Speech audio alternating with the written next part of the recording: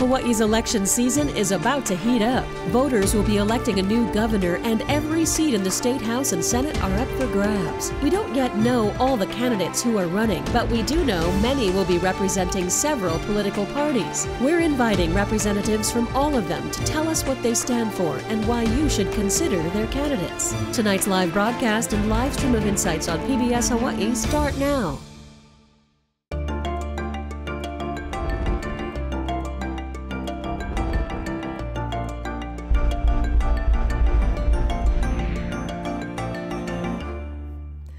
Aloha and welcome to Insights on PBS Hawaii. I'm Yunji de Nies. 2022 is a big year for local politics, and voters will be tasked with electing officials who have an impact on their day to day lives. The primary election is set for August 13th, with the general to follow on the 8th of November.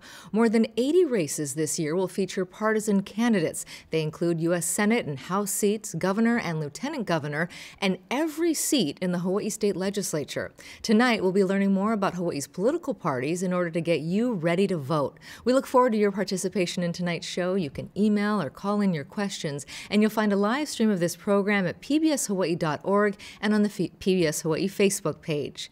Now to our guest, who we will introduce in alphabetical order. Joclynn Costta is the chair of the Aloha Aina Party. She's a graduate of Kamehameha School and currently resides on Maui. After a long career in sales, which included owning a tea leaf farm, she retired in January. Lynn Finnegan is the chair of the Hawaii Republican Party. She served in the state legislature for eight years and was the House Minority Leader for four of those years. She was also a candidate for lieutenant governor in 2010. Zooming in from Wailuku, Maui tonight is Ed Gazmen, chair of the Hawaii Constitution Party. He's a Vietnam era veteran and is an advocate for veterans suffering from PTSD and the homeless. He's also an ordained minister. Also from Maui, Sylvia Litchfield from the Green Party of Hawaii. She's volunteered for the party since 2016 and is currently the membership chair. Zooming in from Upper Puna tonight is Shannon Matson, vice chair of the Democratic Party of Hawaii. Prior to this role, she was the vice chair for Hawaii Island Democrats. She's a yoga instructor and a mom of two. And Eric Weinert has been a member of the Libertarian Party since 1978 and is the treasurer for the Hawaii chapter. He's recently retired after a 40 year career in agriculture on Hawaii Island and is the president of the Hawaii Papaya Industry Association. A lot of biographies to get through and a lot to talk about tonight. We appreciate you all being here. I want to give viewers a sense of the parties that you each represent. So let's start in that same order and very briefly. If you could give us a sense of the party that you're representing tonight. Joclynn, we'll start with you. Um, mahalo for this opportunity, PBS, to be able to introduce the Aloha Aina Party to those in, in our great state of Hawaii. Uh, the Aloha Aina Party is, as I, I consider it, the oldest party here. Even if we've only now emerged, it's been here since 1898 when the Hui Aloha Aina brought the people together in Hawaii, um, created a sense of voting, which was for the anti-annexation at the time, and they they were unanimous in, in their efforts and, and their um, their patriotic um, um, love for this land. So the Aloha Aina Party is of that same uh, theme, which is to bring the people together, to have a united stand, and to really look at what Hawaii needs. Okay, thank you for that. Uh, Lynn, let's go to you to talk about the Republican Party. We're obviously familiar, especially at the national level, but tell us about the Hawaii Republican Party. Uh, well, this year, uh, for this election cycle, more especially, we adopted a slogan, and it's uh, "Stand for Hawaii." It's about putting Hawaii first, and you know, we're our people, uh, our members in the Hawaii Republican Party are very active in issues that pertain to life, liberty, and the pursuit of happiness, that very fundamental um, part of our Constitution. Uh, we also, what we're seeing, especially over the last two years, is people who are people who are about individual rights, about you know freedom, about family, um, and even faith, you know, and, and our Constitution. So I'd like to hear a little bit more about Ed, you know, who is also part of the Constitutional uh, Constitution Party. Um, and and this year, even too, with the assaults on parental rights, with the assaults on uh, uh, businesses uh, within our communities and at the state capitol, uh, the Republican Party is really about giving the opportunity, the fair opportunity for everyone, with not uh, determining equality of outcomes. And so, um, you know, it really depends on the individual to be motivated and to uh, help the community and to be a part of uh, the government process. And this past year, we've been seeing a lot of uh, a lot of people coming out of the woodwork wanting to participate in the Hawaii Republican Party for these values, uh, more especially because of the corruption that has been taking place, uh, because of the you know the circumvent of our political process by having an emergency order that has been in for two years. Um, so it's just a lot of, uh, our party is really about hearing the voices of people from all the different spectrums of the people of Hawaii, not just a certain, uh, a certain one party system. Well, Ed, let's go to you because you your party is uh, on the conservative side. What what tell us about the Constitution Party and what does make it different from the Republican Party? Actually, the Constitution Party started out under the name of a U.S. Taxpayers Party back in 1992-93, uh, but however, in 1999, the the name was changed to the Constitution Party to reflect more on the uh, on, on the basic values of this party. And we are the fifth largest polit- political party in the United States. And of course, our goal is to to restore American jurisprudence to its constitutional foundation. And uh, it's our platform is uh, shaped by the Constitution, of course, but but it, for the principle, it's shaped by principles set forth by the Declaration of Independence, Bill of Rights, and of course, the Bible. Okay. And so we uh, we we do have uh, we consider it the three pillars of the party, which is one integrity. We believe that uh, uh um, uh, we should be not only be people of integrity, but also accountability and honesty. And second is liberty. Liberty. We believe strongly in liberty. We believe that uh, government today, I mean, it's it's bloated, it's uh, inefficient, it's excessively, incredibly uh, non-functional, in my opinion, of course. And of course, the third the third part would be the prosperity. We believe in uh, true capitalism. We believe in small businesses, that small businesses are the foundation of our country. And because as, as we encourage uh, uh, uh small businesses to flourish, they also create jobs for the community and for the nation. Sylvia, let's hear from you and tell us about the Green Party. Thank you, Yunji. Aloha. Uh, the Green Party of Hawaii does not take corporate, or I should say big money donations. So we are free to stay true to our values and be a spokesperson for some ideals and ideas that sometimes the major parties would rather overlook. Um, we're a grassroots organization, we're local, we're autonomous, and we're all volunteers.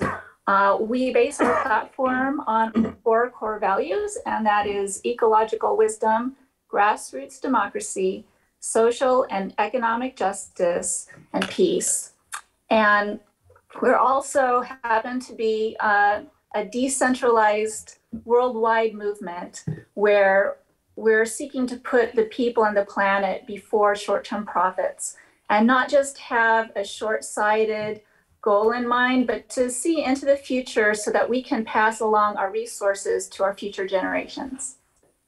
Thank you. Shannon, let's go to you. When we talked about uh, at the intro, talking about the dominant party, of course, we were refer- referring to the Democrats. Our viewers are undoubtedly familiar with your party, but how would you describe it uh, to folks who may be entering, you know, approaching politics for the first time or casual voters? How do you sum up the Democratic Party?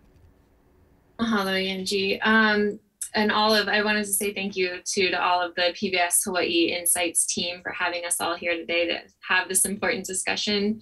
Um, actually, the Democratic Party formed in 1900 uh, post quarantine, which of course we're all familiar with now, um, for a plague at the time, and directly in support um, for Queen Liliuokalani.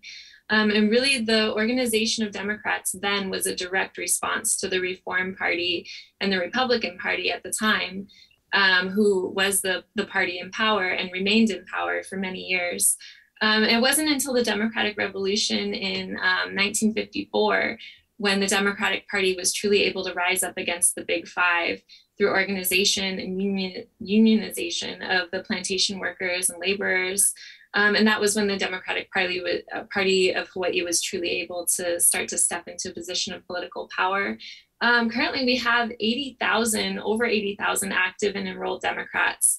And as you can imagine, with such a large membership, we have many diverse views and priorities within our party. Overall, I see us as a party of inclusivity, and our platform and resolutions reflect that. Um, part of the success of our party is the, the, work we do at the grassroots level and how um, many of our members can choose to get involved and participate in different issues they feel passionate about. Uh, for example, over the pandemic, our Democrats in Hawaii Island um, were able to organize a couple of large food distributions for vulnerable families in need, as well as to help with mass drives and test distributions. Um, overall, the Democratic Party here stands for liberty, social, economic justice, protection of the environment, and respect for the dignity and worth of each individual. Okay, and Eric, let's let's go to you last. Um, we heard from Ed and from Lynn about the principles of their party, which tend to be conservative, and perhaps could echo some of the things that I would imagine a libertarian would stand for. But tell us a little bit about the Libertarian Party and how it's a different conservative party from those other two. Yeah, thank you for the opportunity to share tonight. Uh, we believe that the Libertarian Party is is mainstream. We share the, the values of the majority of American people in that we're financially responsible and socially inclusive. Uh, we support the Constitution of the United States of America and the Bill of Rights. We therefore strongly support free speech, uh, oppose censorship in any way. Uh, we support the right to bear arms and the belief that individuals own their own bodies, not the government. You know, the only requirement for membership in the Libertarian Party is to renounce violence or force to achieve their political aims. Um, we believe that uh, government has a limited role, and that is to guarantee the rights and freedoms of individuals so long as they do not harm their neighbors or the environment. Um, the role of government is to enforce contracts and to provide a competitive free marketplace and to provide for the common defense of our country within our own borders and avoid foreign entanglements. And so it could be kind of summed up as don't hurt people and don't take their stuff. Pretty simple. And I believe the, the, the majority of Americans uh, share those values. So thank you. Thank you for that. I like that summary. Um, Lynn, I want to touch on something that you brought up, and this was this idea that people are coming out of the woodwork, you said, to support your party. I wonder if that also translates to candidates, and we'll get to each of you on this question, but how are you fielding candidates for, you know, there's a lot of opportunity with basically every seat in the state legislature up for a vote that uh, you know that could mean some turnover and some opportunities especially for uh, parties who may not have been represented in the past. So how many races are you hoping to actually field a candidate for and, and, and have someone on the ballot? Uh, we we will. Our, our goal is to have a candidate in every seat. Um, and we do have prospects in almost all seats right now. Uh, this is probably the um, the earliest that we have uh, we've had so many uh, prospective candidates, and we do also have committed candidates that are pulling and filing now. Um, and the way that we do it, actually, because of everything that is happening in our state right now and, and people just realizing that this is not, you know, the government has gotten to the point where the government is stepping in and trying to control, um, ha- has too much control on our state and on our people.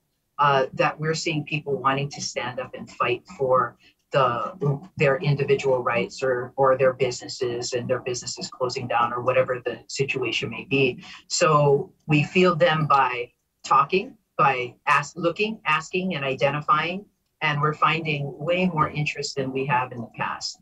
Um, so we have a again, like I said, we have a goal of filling every seat, and I believe that we're going to make that goal come June seventh.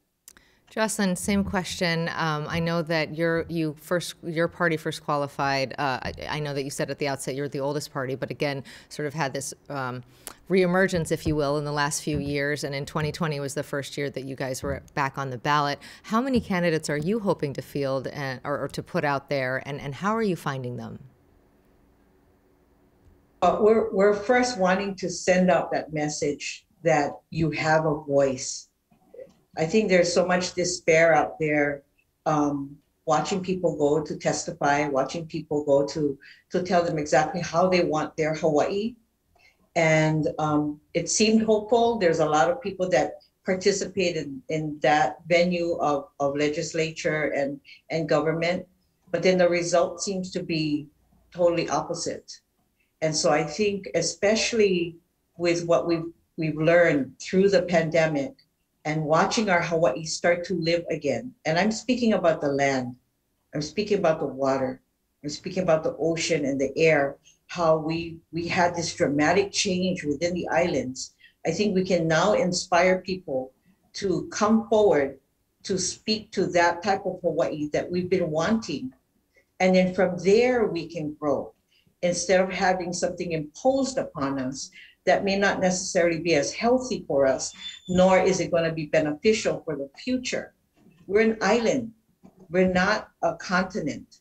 And so we need to have that mentality. And so one of the things that the Aloha Aina Party is looking for in a candidate, and we really feel that there is going to be this insurgent of, of just a lot of people now having the courage to stand up to the same old and and create a new Hawaii and a new governance for this Hawaii. And so I, I have every confidence because you've seen the, the amount of people that come out when there's an issue that they really feel passionate about. And we're talking these people, they, they've given up on government. They don't even want to vote, but they want their voices heard. So that's why we're opening up this lane for them to know that they have an opportunity to make the difference and the change that they're asking for. So I truly believe that um, through the Aloha Aina Party, we can speak to each other face to face and come up with the same solutions. And and I'm I sad to say, but I'm I'm grateful that the pandemic hit us in a way that had us pause.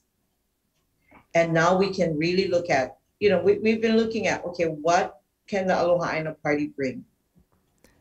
What it bring what we want to bring is unity. And the only way to bring unity is to find the thread that binds us all. It doesn't matter what party it is. It doesn't even matter where you live. We live here in this nation state of hawaii. And so the the main thing that we need to get across is land water and air. Any one of those things that disappear none of us would be living here we also need to know our land base. It's, it's um, limited to the island.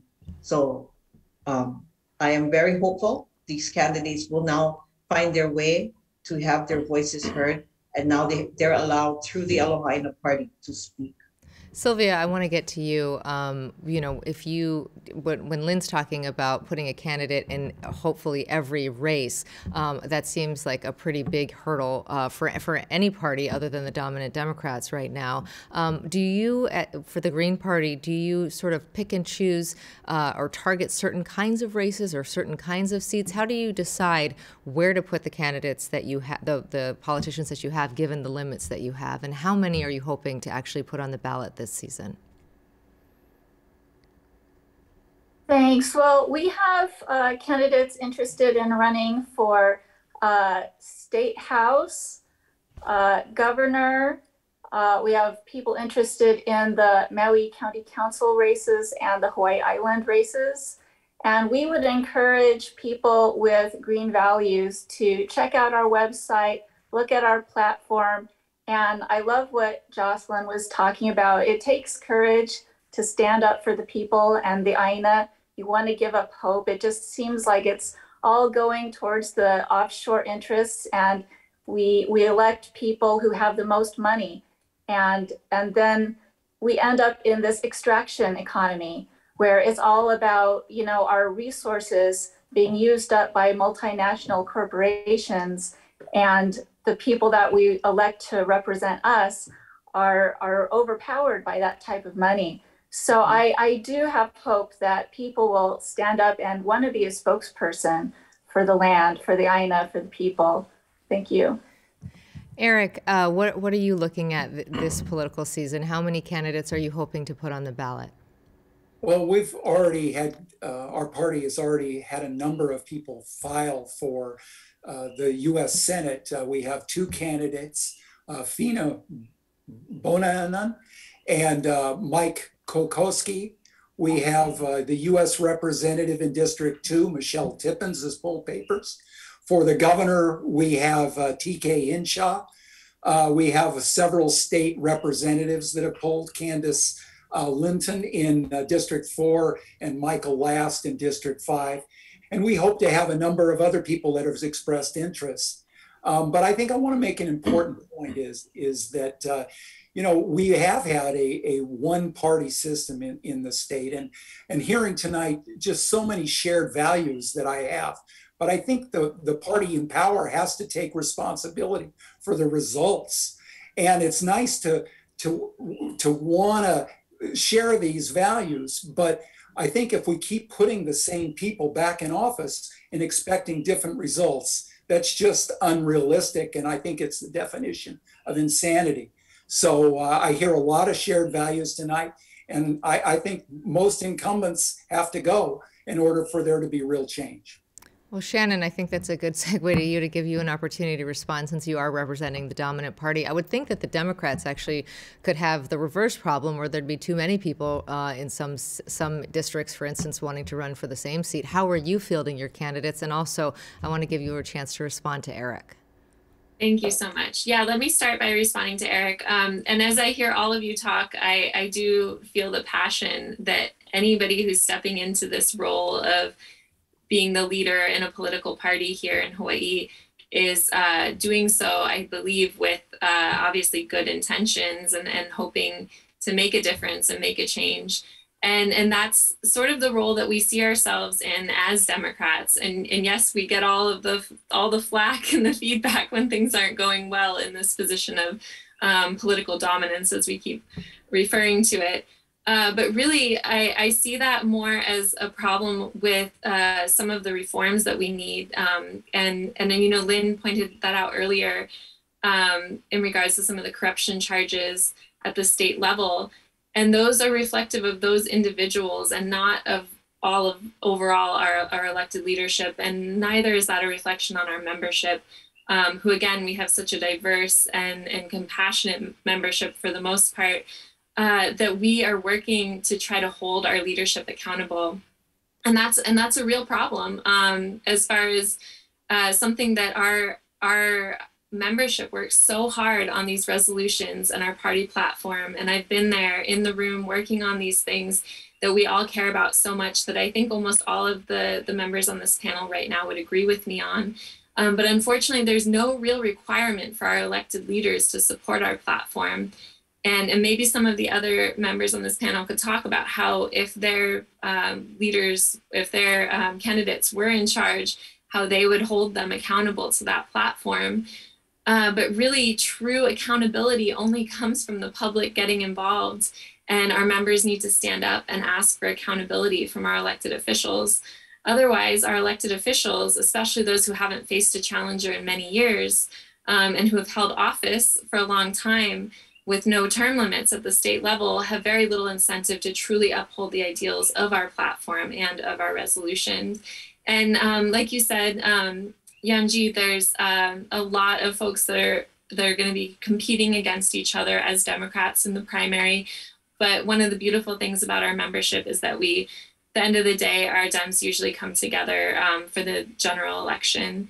And, and hopefully that'll be a time again for our um, membership to remind those in charge that that we really do want them to be accountable to our party platform and our resolutions.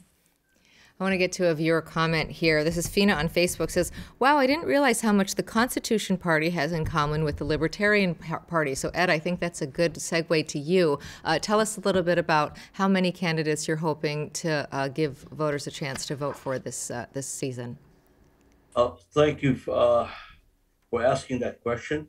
Um, we are at this point, honestly, we are in the regrouping uh, stage, and uh, but we have spoken with quite a few people that are interested in running under the Constitution Party. But one of the interesting thing that I'm, I'm uh, that I hear all the time is uh, they, they say, "Well, Ed, you know, I'm I'm not satisfied with the two major uh, uh, two major parties." And I'm so glad that you guys uh, come along because at least you're giving us uh, a choice. And um, and so this so they they ask us so what makes you so different from the rest of the parties, the poli- uh, especially with the with the two major ones. And you know the basic foundation for our party is that that uh, the source of this unalienable rights that we call, which is life, uh, liberty, and pursuit of happiness, it comes from the Creator. This cannot be given, it cannot be sold, it cannot be finagled, it cannot be uh, uh, um, contracted. And when we use, when we have these two basic values together, it gives people hope. And this is what I'm finding out as I'm talking to people. Yes, they want to run for office. Yes, they're interested because for once in their life they have something that that that they can agree with with the principles, with their conviction that they have. So we we are in the process. It's very very encouraging. We have a lot of feedback from a lot of people, uh, uh, but we are the uh, Johnny come lately. Uh, people are still finding out about us. Some some cannot even pronounce or or spell the name of our party. So how's that? well, that's why that's why you're here tonight to to let people yes. know. Um, I wanna I wanna move along, and if you guys could all if, if all of you could keep your uh, answers a little brief because we are almost halfway through the show already, if you can believe it. But um, Lynn, this is a question for you, and I'm sure it comes up uh, about the former president. You know, he is the standard bearer of the party, uh, and there are two questions here. Uh, one says, "How much support does the Hawaii Republican Party have toward former President Donald Trump?" And another one, "Do you believe that Donald Trump should be reelected if he runs for president again?" You know, like I said, our our our our slogan for this year is focusing on 2022, which means that um, it's not a presidential election year. We want to make sure that Hawaii is first in this election and not get sidetracked by, uh, you know, what's happening across the nation, even though that's very important to us as well. Um, what I will say about those who support uh, President Trump and the party is that they're very passionate, and many of them uh, uh, not only belong in the party, but they're here fueling our efforts at the party.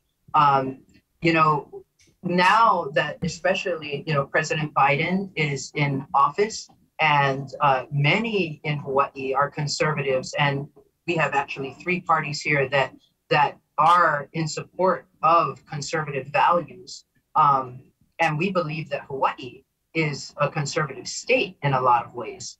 Uh, and we believe that um, you know we need to focus in on Hawaii. We need to focus in on the conservative values of our people. And we believe that a lot of the things that we're saying right here, even to the point of what Shannon is saying about the Democrat Party, those conservatives that are traditionally in the Democrat Party should be voting on the conservative side because we need a two party system here in Hawaii. So I would like to just have that message out to the conservatives that are in the Democrat Party the Conservative Party, the Libertarians, and you know we have uh, Aloha Aina uh, folks um, that are also inquiring about the Republican Party.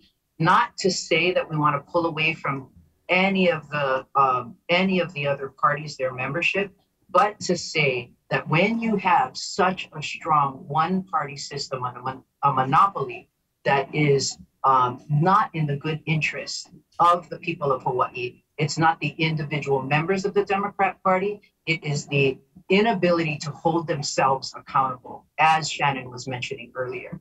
So, what we need is to come together as the rest of the parties to say that a one party system is not okay. Shannon, I want to give you a chance to briefly respond to that.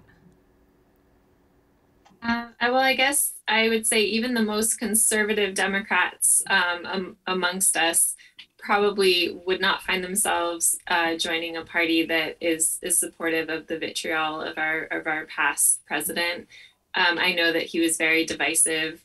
Um, and again, I would like to focus on local politics as well. I agree with what Lynn's saying. Um, as far as 2022 is is the present, this is what we need to be focusing on. Uh, but I think most of our Democrats are united across the board in, in being very grateful for President Biden's leadership. While we may not agree with everything that he's doing, overall, uh, he is a, a, a, I would say, a really welcome relief from the, the years of President Trump. Joclynn, I want to give you an opportunity to answer this question from Pauline in Aiea. She says, "How will you assure that the uh, election electing your party's candidates will not empower only Hawaiians but all ethnicities? Um, how, is Aloha Aina a party just to represent Native Hawaiians, or can it represent those the rest of the community as well? I think that's what Pauline is asking." Thank you for that question. Um, I also belong to uh, the United Church of Christ. And one of the things that we're, we're working towards is living into that apology. And what I had found through the conversation in that, that um, issue of living into the apology of the overthrow of 1893 is that it stops when it becomes a Hawaiian thing. It, and it, we should we should really look at what the issue is. It's a thing of justice it's a thing of doing the right, doing what is right. And that's what we're calling for. We're calling for people that want to stand up. If you even look at that Ku'e petition in 1893, it wasn't just Hawaiians that were signing. It was everyone who felt what was wrong was wrong and what needs to be right be corrected. And so the Aloha Aina Party, again, stands for um, uniting people under this the one thread that binds us, which is our resources, land, water, and air. And the way you do it is a, a four step. We first have to humble ourselves. We have to come back to really realize what is important here. And it's not even a party. We have to look at Hawaii. Once we do that, then we can spiritually connect to what we need to do. And at that point, and that that the first one was called Ha'aha'a. The next one is La'ala'a. So we now become um, spiritually connected. We have this, this connection. Then we go into Ma'ama'a, which would be that we can now know our place, our kuleana, and we can take care of what we really, truly, truly need to do. Once we can accomplish those four things, la'ala'a, ha'aha'a, I mean, sorry, ha ha'aha'a, la'ala'a, ma'ama'a, now we can turn to pa'a. Now we can really get down to business. We can really take care of our, our Hawaii. We can really look to, towards a, a, bright future. And to, to say that, you know, um, Hawaii is not progressive back in the day, you, you got to realize the palace had lights way before, you know, the continent. We had flushing toilets, we had telephones, um, we had all the we were progressive. He, our king, probably would have had a laptop way before um, other countries would have had it. So I really believe that um, it's a people thing. I, I can't do this by myself, and I'm not going to just say that only a Hawaiian knows how to do. That would be ludicrous. Yeah, but we do live in Hawaii, and so we need to let the voices of Hawaii speak for the land, the water, and the air. Okay. Uh, Sylvia, I want to bring in this question. Uh, a viewer is asking What are the significant differences of the Green Party of Hawaii from the two major political parties? What would you say? Well, again, I think the main difference is that we're independent from large, big money donations. And, uh, you know, actually, tonight I'm very inspired by our similarities that are being represented here. And, uh, you know, so many things that everyone is talking about here. Uh, the values are very similar.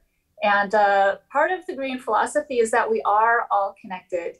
And I think what connects us here in Hawaii is very powerful. We have the most beautiful place and the most precious resources. And I just feel like let's all get together after this show. Let's all get together, get to know each other, find our common ground. And, you know, it's great for all of us to have voices, and third parties are important. And at the same time, build coalitions and where can we be unanimous in moving forward to really do something powerful for Hawaii's future? And I know all of us here feel passionate about that. Well, I want to see the video of the follow up. Eric, I want to go to you. Um, can you tell us a little bit about when you look at the landscape? You know, we've talked about, uh, there, there, Kayla on Instagram says, no more majority of Democrats. We need more balance in politics. Uh, I'm sure that that is something that your party uh, is working on. When you look at the way politics unfolds in our state, why do we need more choice? Well, that's a really good question.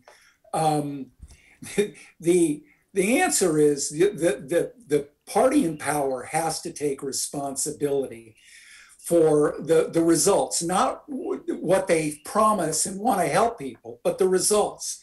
So let's take the $88 billion of uh, unfunded liabilities in the state for future pensions.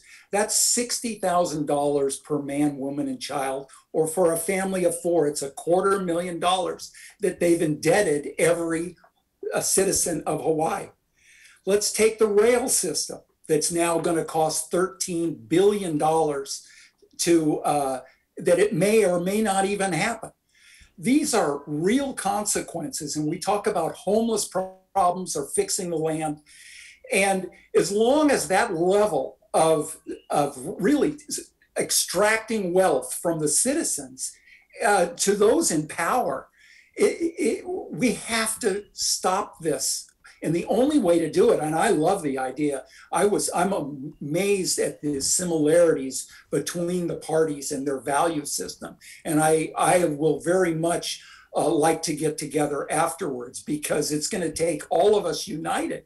And I think that the, when I hear the, the, the representatives speak about the Democratic Party, I actually believe that the majority of citizens of the Democratic Party are with us as well.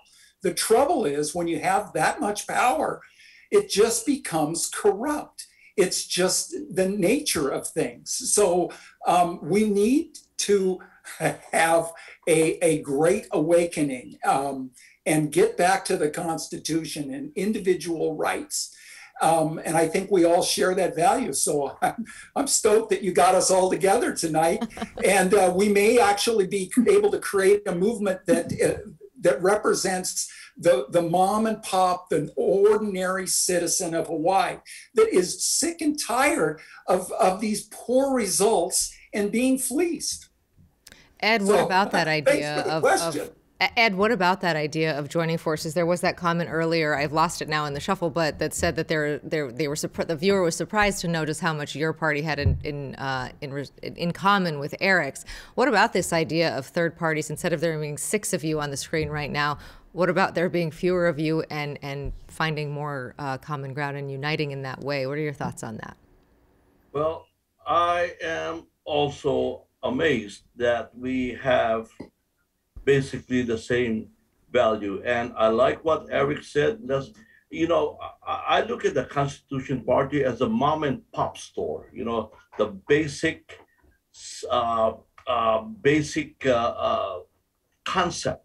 It's the Constitution, and regardless of whether we are running for a national uh, office or on the local level, the Constitution is the foremost, the most important law of the land. We cannot mess with it. And what's been happening is we have messed with it. And that's why we have such a, a chaotic society today, because we've gotten away from the rationality, uh, the rational concept that our forefathers, our founding fathers, have created. It is worked for the last over 200 years, and it's going to work for the next 200 years if we stick to uh, uh, uh, uh defending the uh, the Constitution, the Bill of Rights, and of course, understanding that there's a creator behind all of this.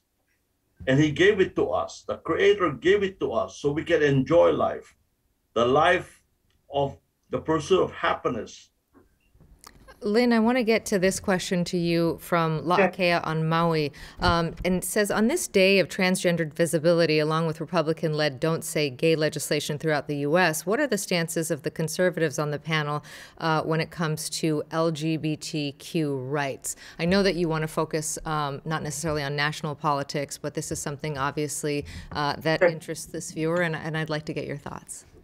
Well, actually, that is not a only a national issue; it's a local issue there were two bills that were moving through the legislation, uh, moving through the state house that had to do with um, making.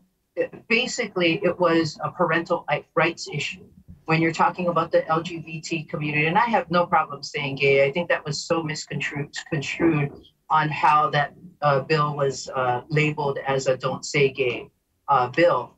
Um, locally, what is happening is uh, you have two bills that are, are, like I said, an assault on parental rights. When you have children who are um, maybe thinking about, in fact, not even thinking about sexual uh, uh, involvement or sexuality issues at a very young age, and you're having uh, the the public, the schools, the government replacing the position on a very sensitive issue um, that parents should be the people who actually are the ones who are counseling their children. And you're taking away that right from good parents who have to close, clothe their children, um, feed them, you know, take care of their uh, uh, everyday concerns and issues within a, a, a child's life. And to say that you want to you know, take away those rights of, of parents by circumventing the, the, parents' ability to um, talk to their children about this, this particular issue um, is to me what is another issue that makes, you know, a lot of folks up in arms about government coming in and saying, you know, we want to uh, we want to take over the parents' responsibility in issues such as these. And I think that that's why it's so important for us to at least, you know, if there was something that said with a with parental uh, opting in for counseling or or something like that, um, then there would be at least the ability for parents to understand what's going on with their children and be the first ones to be able to, um, you know, be involved in that child's life.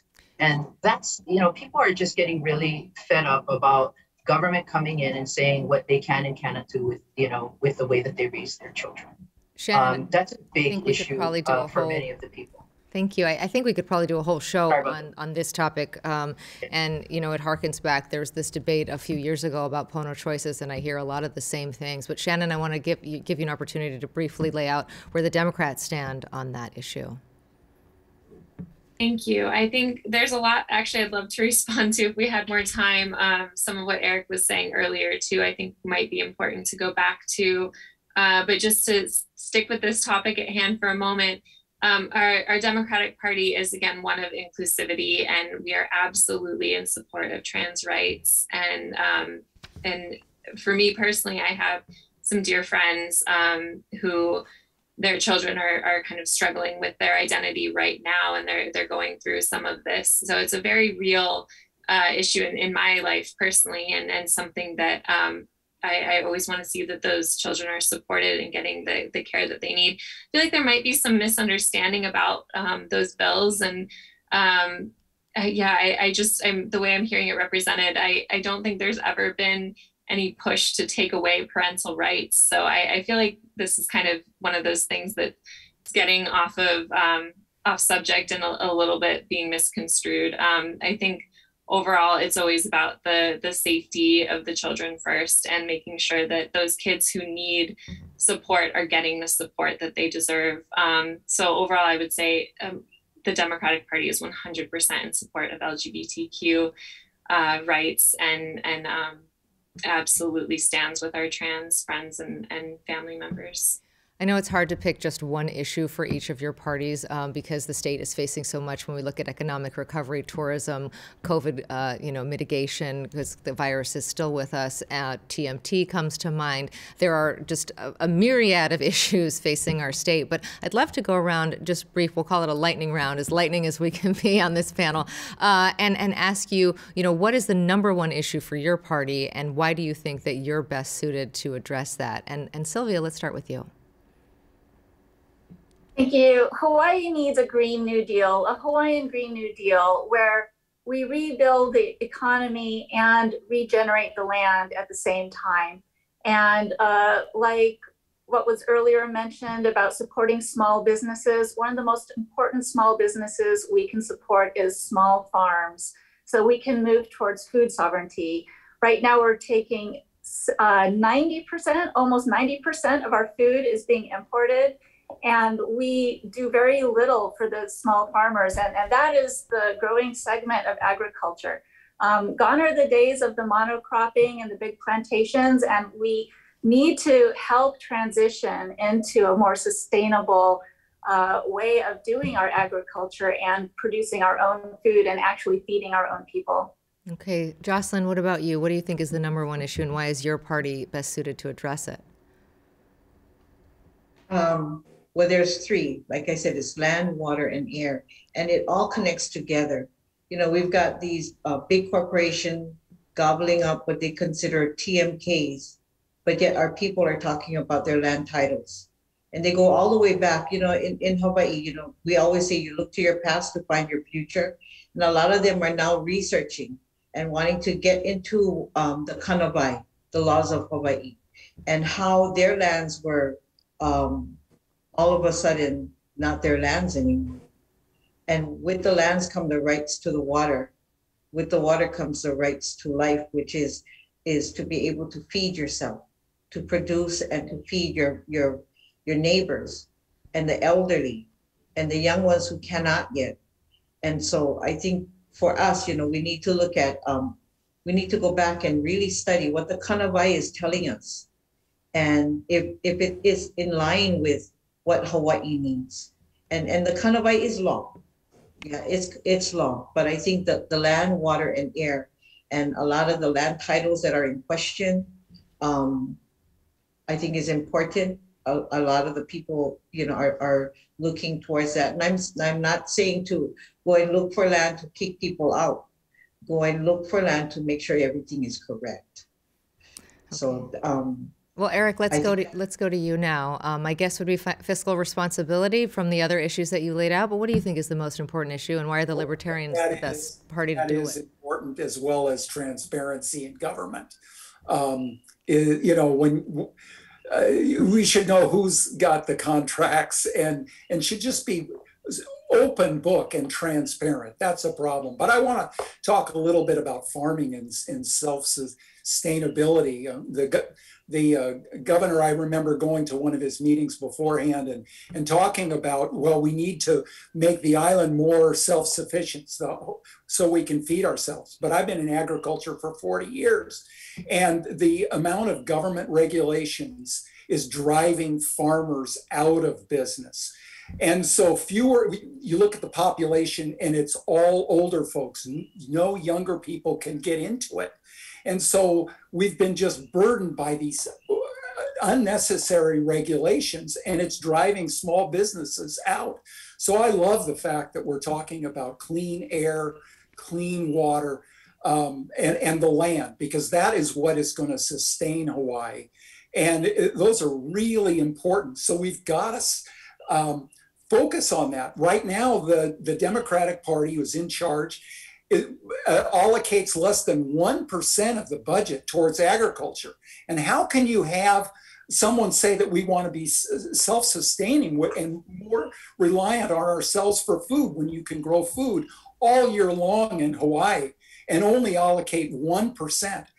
I mean, I, it, the list goes on. I, I, I, was told both by a United States senator and a, a local um, Uh, representative of the House on, and I was in an ag meeting that you've got to pay to play. That's how corrupt the system is. They're telling me to my face in a public meeting that you've got to pay to play. We need to get together and demand our state back. This is it, it's outrageous. We're going to crumble unless we change who we have in power. Okay. And what would you say is the number one issue for your party?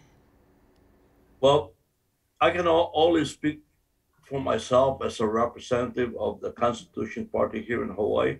But the number one issue for me would be the, the moral issue of uh, the right to life.